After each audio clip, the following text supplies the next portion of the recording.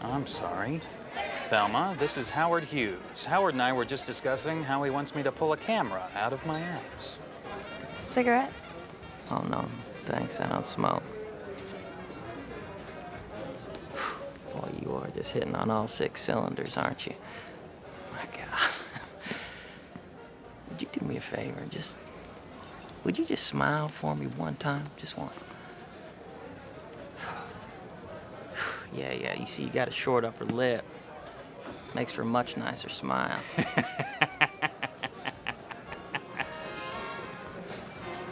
See, I wonder what gives a beautiful woman like you pleasure. I mean, say you're just standing there, right? And I, I just touch you, just, just like this. See my fingertips. I mean, do you, do you like that? Do you?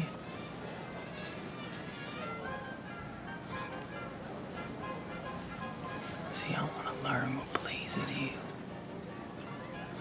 I want to learn everything about you. Would you let me do that?